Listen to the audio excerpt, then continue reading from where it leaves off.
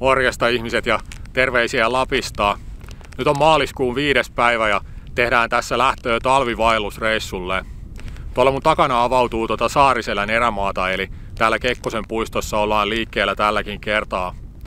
Mulla on tuossa ahkiossa ruokaa viikoksi tai vähän yli, mutta mitään tarkkaa suunnitelmaa tälle reissulle ei ole olemassa, eli katsotaan tässä päivien kuluessa sitten, että minkälainen vaellus tästä hahmottuu. Se on kuitenkin varma, että talvinen metsä- ja tunturi erämaa tarjoaa ihan varmasti hienoja maisemia nähtäväksi.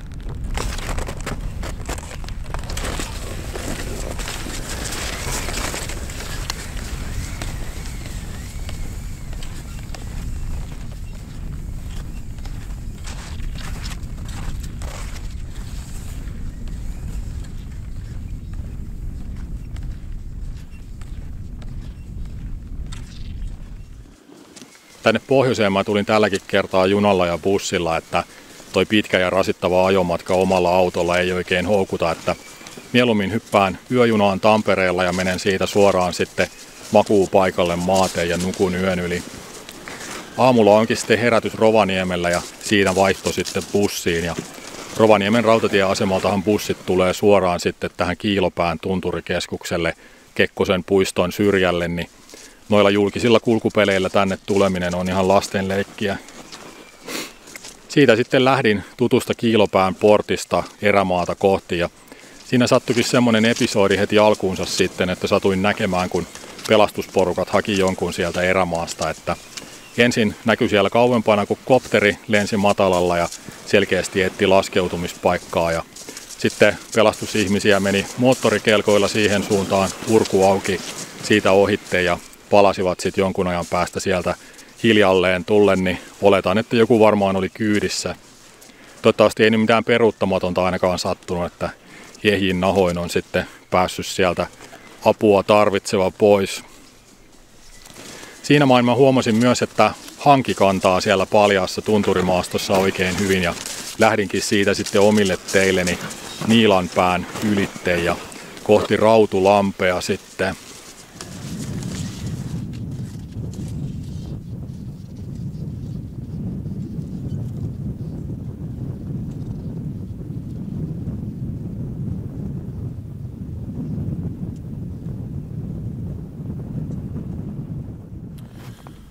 Tultiin tähän Rautulammen päivätuvalle ja alkaa olla auringonlaskun aika. Mä jatkan vielä siitä huolimatta eteenpäin kohti Lankojärveä, koska tämä on vain päivätupa ja tässä ei saisi oikein yöpyä, ellei jo jotakin pakottavaa tarvetta, eikä mulla nyt ole semmoista pakottavaa tarvetta. Tämä Rautulampi on aika ylhäällä tunturissa ja täällä on tuommoista kitukasvusta koivua vaan ja tarppileirin tekeminen tänne olisi aika ikävää hommaa ja tässä tuulikin käy jonkun verran, niin Mä en nyt ryhdy siihenkään, niin mä jatkan vaan kohti sitten sitä Lankojärveä. Siinä on kahdeksan kilsaa tästä ja vaikuttaisi siltä, että jälkiä menee siihen suuntaan ihan reilusti, että varmaan saa jonkun jälkissä kulkea, niin on helpompi sitten mennä. Maasto muuttuikin onneksi huomattavasti helpommaksi tästä Rautulammilta eteenpäin jatkettaessa, että Rautulammillehan tullaan tunturin yli ja siinä on nousua ja laskua ihan riittävästi sillä reitillä, mutta sitten kun jatketaan tästä kohti Suomujokivartta ja Lankojärveä, niin tämä on käytännössä yksi pitkä loiva alamäki tämä koko matka. Huoltokelkan jälkihän tässä näyttäisi menevän, että tässä pääseekin nyt helposti ja nopeasti kulkemaan.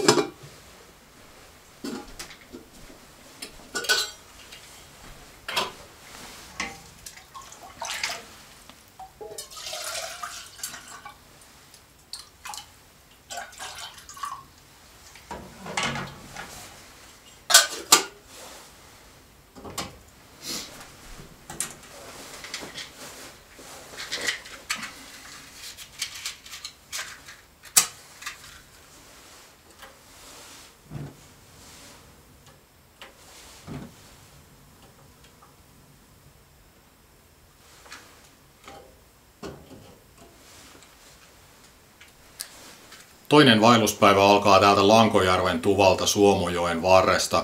Mä tulin eilen illalla ihan viimeisillä päivänvaloilla tähän. Pimeys oli justiin laskeutumassa, kun tänne pääsin. Ja täällä oli neljän hengen porukka majottuneena ja tuossa seinän takana varaustuvan puolella samanmoinen porukka. Ja täällä olikin tupa lämpimänä sitten, kun tulin tähän ja kelpas kyllä tulla tuolta taipaleelta. Täällä oli ylälaveri vielä täysin tyhjänä tuvassa, niin mä levitin omat yöpymiskamani sitten sinne ja nukuin kellon ympäri, kun olin syönyt, niin menin saman tien maateen ja kahdeksasta kahdeksaan nukuin, että ihan hyvät yöunet. Mulla siis puhkesi räkätauti siinä ihan päivää kahta ennen reissuun lähtöä, niin mä oon vähän puolikuntoisena täällä nyt ollut liikkeellä, mutta nyt on kyllä oikeinkin hyvä olo, että ei tunnu lainkaan siltä, että mikään tauti tässä hidastaisi tahtia. Pojat lähti tästä sitten kohti Luirojärveä ja me ei nyt tänään jatketa matkaa mihinkään, että pysytään tässä Lankojärven tuvan ympäristössä ja tässä lähistöllä ja katellaan tätä hienoa talvista erämaamaisemaa tässä ja huomenna vasta sitten siirrytään eteenpäin. Lankojärvi on oikeastaan tällainen poukama tai suvantokohta tuossa Suomujoessa ja tässä kohtaa niin virtaukset heikkenee ja tämä on ihan hyvässä jäässä ja näin. Tuolla näkyy sitten tupa tuolla mäellä, että tämä on ihan hieno paikka ja tonne suuntaan sitten Suomujoen virta jatkuu. Tässä Lankojärven tuvalla on autiotupapuoli ja varaustupapuoli erikseen, niin kuin yleensäkin näissä tuvissa on. Ja täällä tuvan takana on sitten paljon tämmöistä väljää metsämaastoa, niin täällä on reilusti tilaa sitten omille majoitteille kyllä. Mäkin olen ollut tässä joskus sillä lailla, että oli useampi kymmenen lukiolaista samaan aikaan, että tänne kyllä mahtuu väkeä tarvittaessa. Täällä on sitten tietenkin puuliiteri ja huussi täällä tuvan takana kanssa. Noista omista majoitteista puheen ollen, niin nythän oli siis 28 astetta pakkasta viime yönäkin, että täytyy kyllä myöntää, että ei se ihan hirveästi houkuttele puun alle nukkumaan, että ihan tyytyväisenä tuolla tuvan lämmössä nukuin. Kyllä siinä kaksi kasissakin yönsä viettää, mutta ihan täysin välineurheiluksi se menee, että eristeet riittää ja sillä lailla. Ja joka tapauksessa on sitten aamulla makuupussissa semmoinen jäätynyt paakku, kun tuota uloshengityksen kosteutta on jäätynyt siihen, että en mitenkään ihan hirveästi semmoisesta nautin, mutta katsotaan nyt, että vietetäänkö tällä reissulla sitten joku yö ihan ulkona vai pysytelläänkö noissa tuvissa.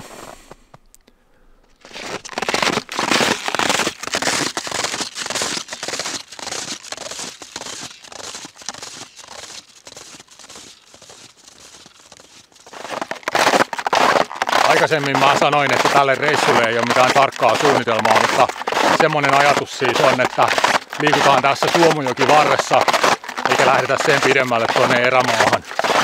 No mä en sitä ajatusta hahmotellessa tiennyt, että täällä on tosi paljon tätä huoltokelkkauraa.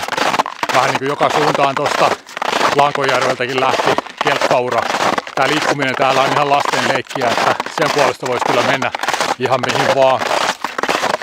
Mutta mä olin jotenkin niin kuin jo päätynyt siihen ajatukseen, että mä vietän tämmöisiä lepposia päiviä täällä ja kuljeskelen päivävarusteilla tässä katsomassa tarkemmin näitä paikkoja ja sillä lailla niin kuin otan ihan rennosti.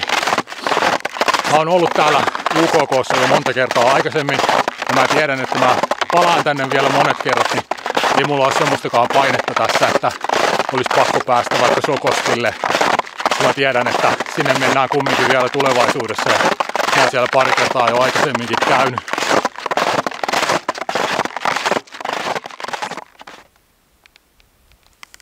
Tosi hienona näkyy tuolla toi Karunaslaavu, toi vaara. Sen takana on se Taimenlampi, jolla leiriydyttiin yksi yö sillä mun kaikkein ensimmäisellä Lappivideolla. Onko se Lapin vaellus alkukesällä 2016 nimeltään se video? Kyllä on komiaa. Ja mikä rauha täällä on. Tämä tilan määrä tekee vaikutuksen joka kerta, vaikka mäkin olen näissä maisemissa jo vieraillut muutaman kerran, niin aina se vaan säväyttää samalla tavalla, että tätä villiä luontoa tosiaan riittää niin pitkälle kuin silmä näkee. ei tämmöistä vaan Suomessa voi kokea missään muualla kuin täällä pohjoisessa. Enpä olisi tällä hetkellä kyllä mieluummin missään muualla kuin just tässä ja nyt.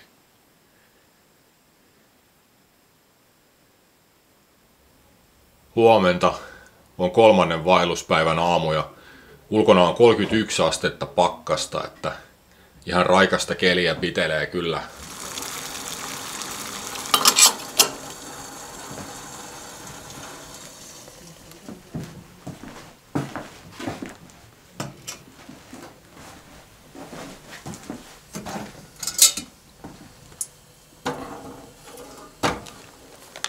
perinteiset vaellusaamupuurot, eli omenakanelit loopandia. Mä kaadan tämän pussin sisällön ensin kiehuvaan veteen ja annan sen olla ihan hetken siinä, että se sekoittuu ja sitten kaurahiutaletta perään.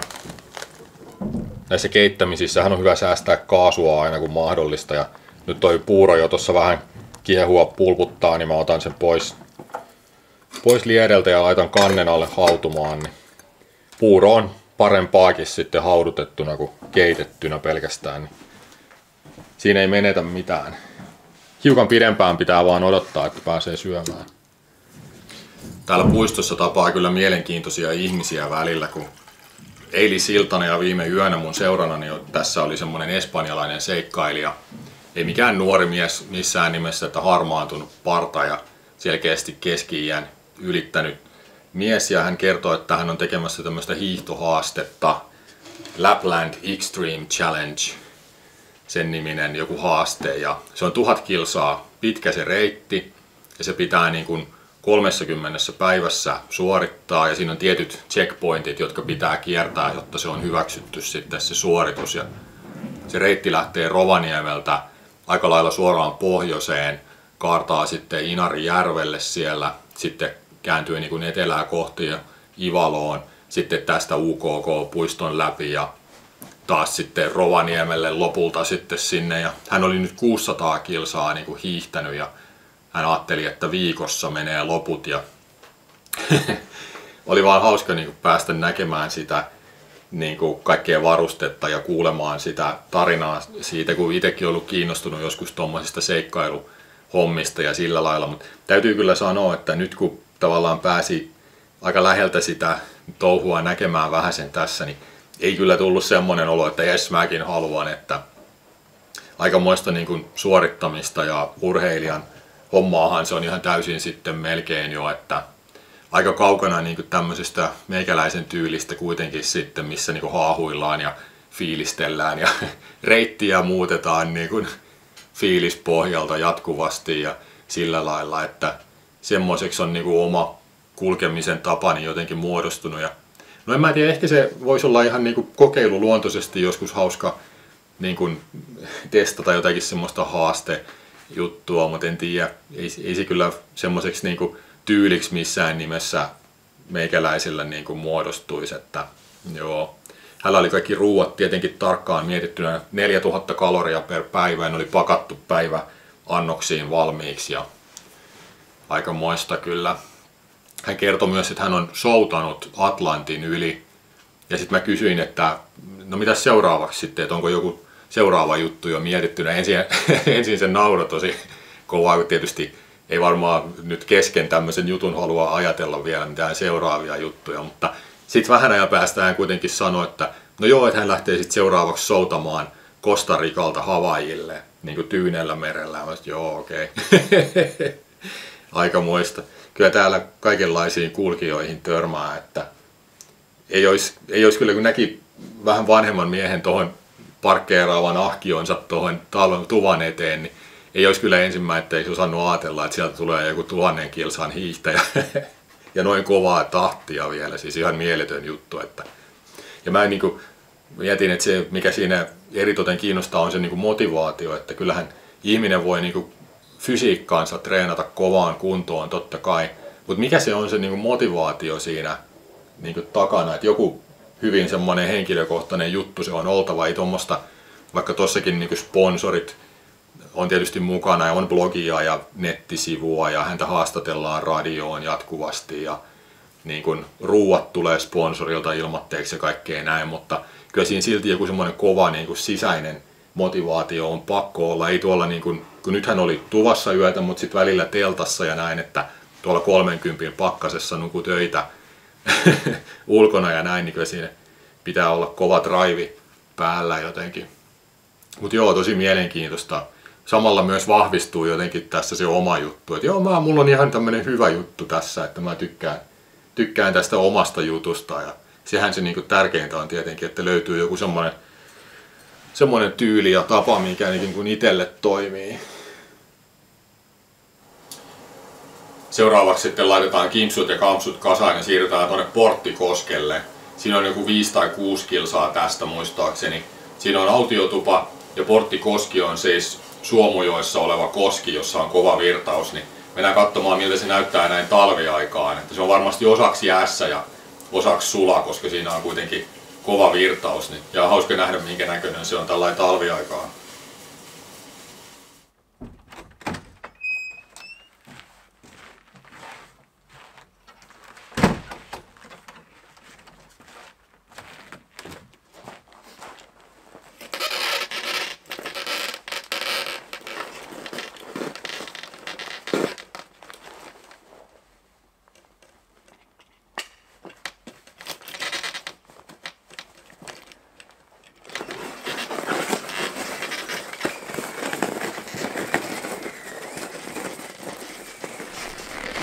Laitoin lumikengät ja sauvatkin ahkion kyytiin, kun tämmöistä kelkkauraa taas tässä mennään ja tää on ihan kivikova.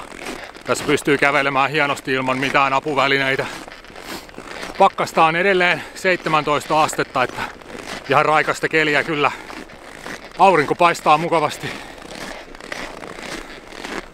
Joo, kyllähän täällä kelpaa kuljeskella.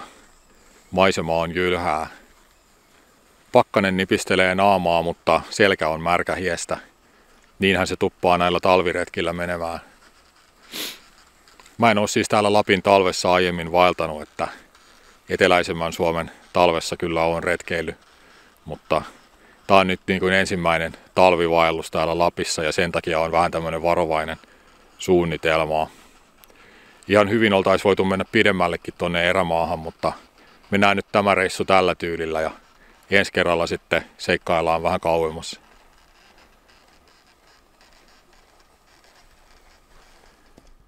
Sieltä se pilkistää puiden takaa Porttikosken tupa.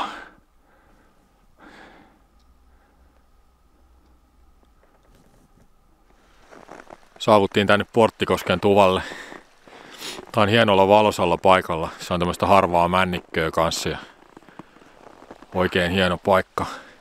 Siellä on perus liiteri ja huussi tossa. Ja tämmöistä hienoa leirimaastohan tässä on vaikka kuinka, mutta taidan tuonne tuvan lämpöön mennä kuitenkin seuraavaksikin yöksi. Siinä on tulipaikka, mutta se on vähän nyt lumen alla.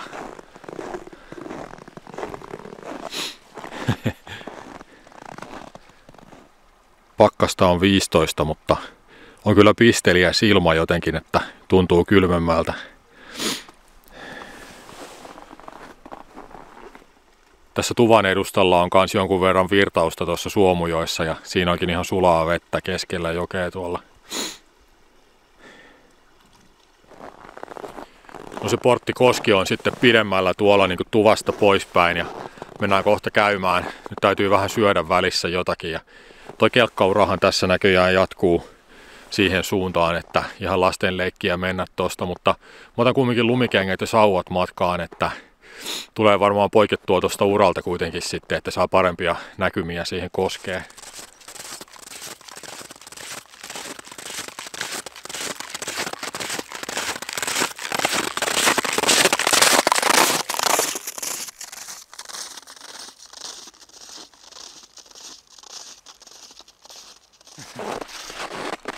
Rajavartiostokin kävi kysymässä kuulumiset tuossa, kun tuli kaksi ukkoa moottorikelkalla lujaa tuolta pysähtyivät siihen sitten.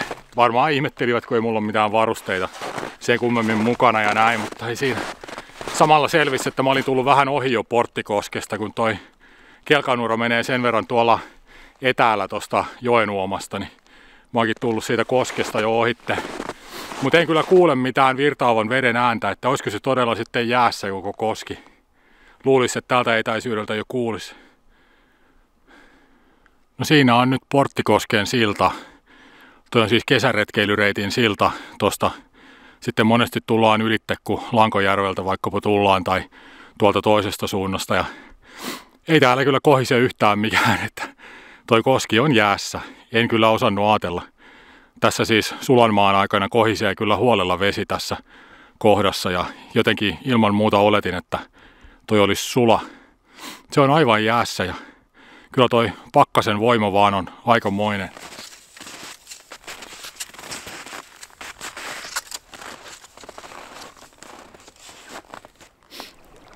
Tosi outoa kyllä. Ihan kuin maailma olisi pysähtynyt jotenkin tässä paikassa, kun mä odotin semmoista raivoavaa ja pauhaavaa koskea, niin täällä on ihan pysähtynyttä ja ainoastaan tuommoinen pieni veden pulputus kuuluu tuolta jään alta. on se talven voima vaan melkoinen, se hiljentää tällaisenkin paikan. Ei ne rajavartijatkaan sitten sanonut mitään, kun mä sanoin niille, että mä oon menossa kuvaamaan porttikoskea, että kummassa kohan suunnassa se nyt on siitä paikasta, missä oltiin. Kai ne ajatteli, että etelän tollo menee kuvaamaan jotain jäänreunaa sinne. Mulla oli semmoinen mielikuva, että siellä niinku koski pauhaa ihan täyttä häkää. Ehkä he vaan antoivat mun sitten mennä niinku itse toteamaan sen tilanteen, että ei siellä kyllä kohise yhtään mikään, että ihan jäässä. Pieni huvittava pulputus vaan kuuluu sieltä jään alta.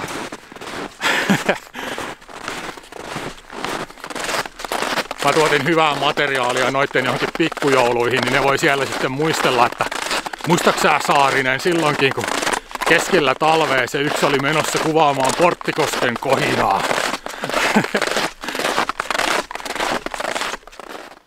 Vähän vaisuksi jäi nyt toi Porttikosken retki, mutta hieno ilta kuitenkin ja tosi mukava olla liikkeellä näin kevyellä varustuksella tässä. Hienoja värejä pitelee tuolla auringonlaskun suunnassa.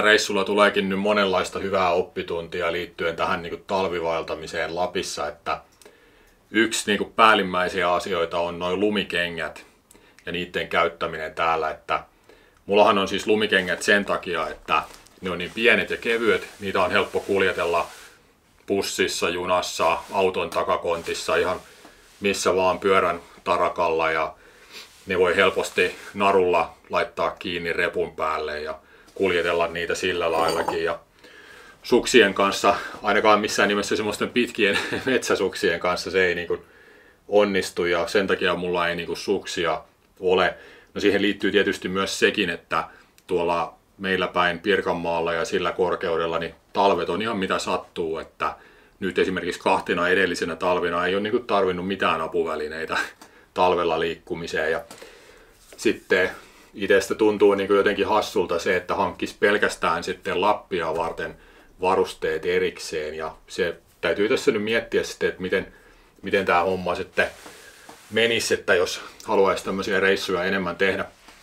No lumikengillähän pärjää täällä hienosti, kun pysyy noilla niin kuin kelkkareiteillä.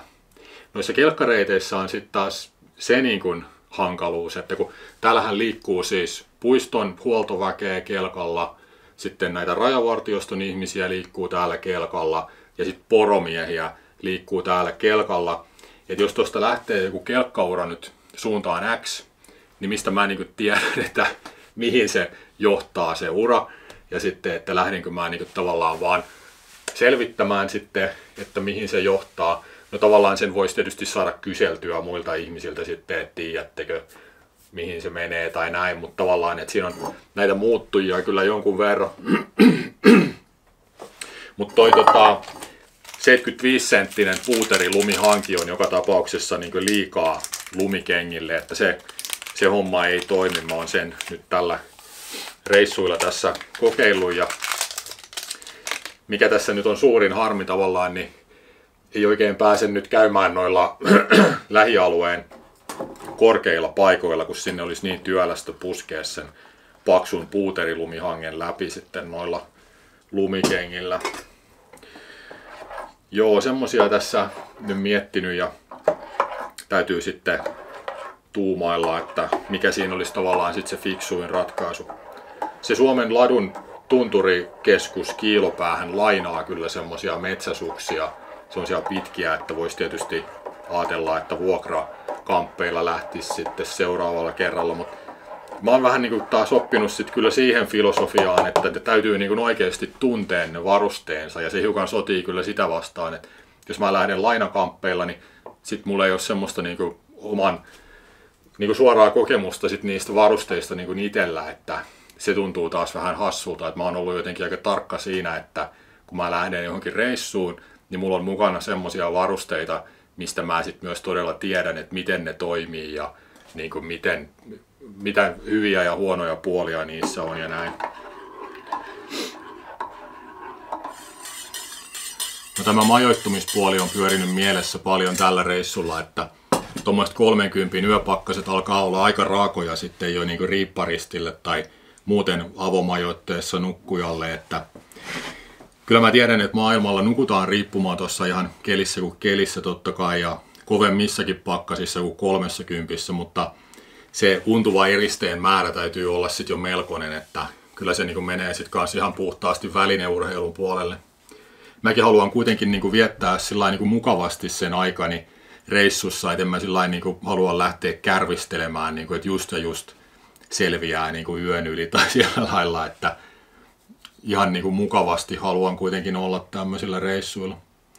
No nämä autiotuvat on tietysti ihan mahtava juttu ja tosi kova juttu, että tämmöisiä on, mutta näissä on kova trafiikki, että mä oon yllättynyt siitä nyt tällä reissulla, että kuinka paljon täällä on ihmisiä. On saksalaisia, ranskalaisia ja muutaman hengen porukoita ja yksittäisiä vaeltajia menee moneen suuntaan täällä.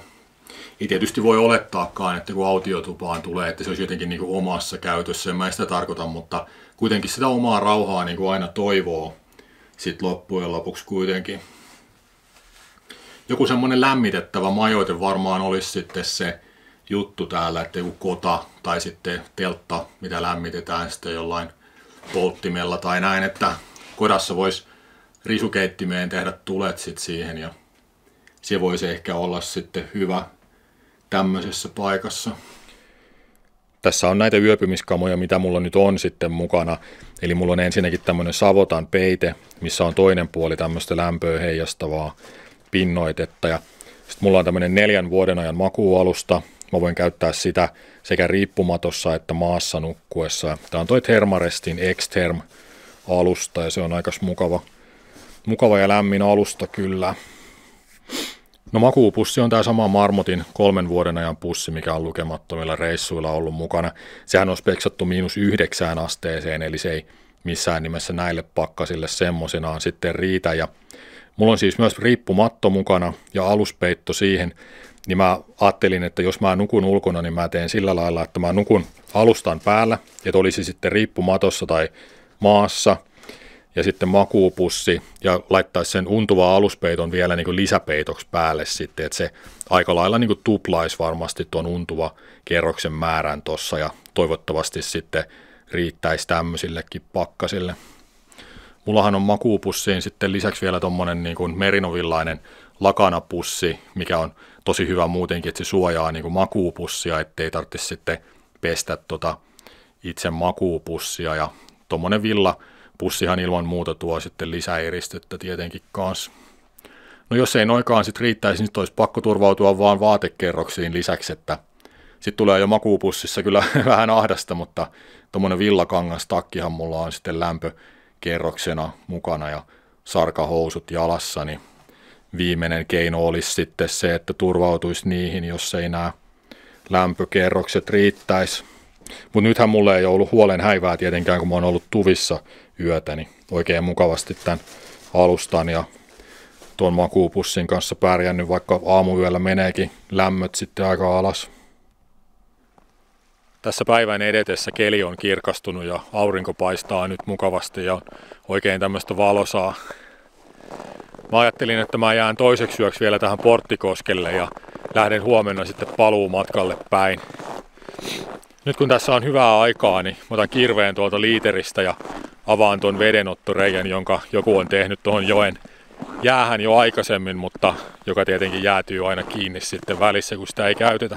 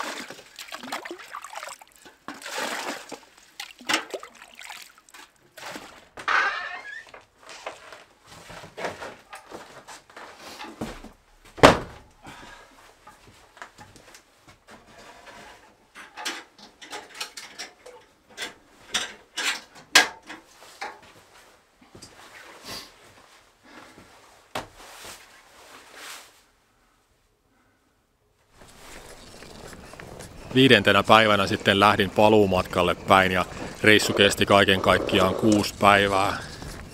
Tämä on ollut hyvin erilainen Lapinretki monellakin tavalla aikaisempiin verrattuna, eikä vähiten siksi, että mä olin täällä nyt ensimmäistä kertaa keskellä talvea ja aika ankarissakin talviolosuhteissa. Etenkin kun yksin liikkuu, niin näitä luonnonvoimia täytyy huomioida ja kunnioittaa talvella täällä ihan eri tavalla, että se olisi sitten jo oikeasti vaarallista, että jos jostain syystä jäisi toimintakyvyttömäksi tonne kovaan pakkaseen ulos. No yleensähän mä yövyn mieluiten omassa majoitteessa, mutta kyllähän mä tällä reissulla on ollut todella kiitollinen noista autiotuvista ja on se vaan aika kova juttu tuolla tiettömien taipaleiden takana olla erämökissä kamiinan lämmössä, kun seinien ulkopuolella 30 pakkaset paukkuu. Tämä autiotupa perinnähän on hyvin suomalainen juttu. Tämä on alkanut jo 1700-luvun puolella ja näitä tunnetaan kyllä muualtakin maailmasta, mutta Suomessa tämä juttu on ihan eri tasolla ja pelkästään Pohjois-Suomessa on jo satoja autiotupia. Kylläpä tämä onkin nyt aikamoinen urakka tämä raututuntureiden ylittäminen näin takaspäin mennessä, että toiseen suuntaan oli vähän erilaiset olosuhteet, kun oli kirkkaan sininen taivas ja aurinkopaisto ja melkein tyyni ilma. Nyt tulee vaakatasossa lunta ja Pakkanen on onneksi laskenut johonkin 12, ettei mitään hätää sen suhteen, mutta on tää nyt aika hurjaa paikkapaikoin silti. Tää on varmaan joku viides nousu jo nyt, mikä tuossa edessä odottaa. Ja sehän tässä on hyvä, kun on lumikengät, että niissä on melkein täydellinen pito, niin tonne ylöspäin mentäessä kyllä hyvin pelittää. Joo, naama on jäässä ja kädet on jäässä ja selkä ja pää samaan aikaan ihan märät hiestä, että on tää vaan aikamoista. Nyt pitää jatkaa eteenpäin, kun alkaa vähän jo kylmettyä tässä heti, kun pysähtyy paikalleen. Ahkion jälki hautautuu saman tien tonne lumeen. Jostain tuolta valkoisesta sekasotkusta ollaan tulossa. Kaiken kaikkiaan tämä on ollut oikein opettavainen reissu ja tästä on hyvä jatkaa sitten tulevien talvivaellusreissujen suunnittelua. Tämä reissu päättyy tähän. Minä kiitän kaikkia katsojia ja seuraavassa videossa jatketaan. Morjens!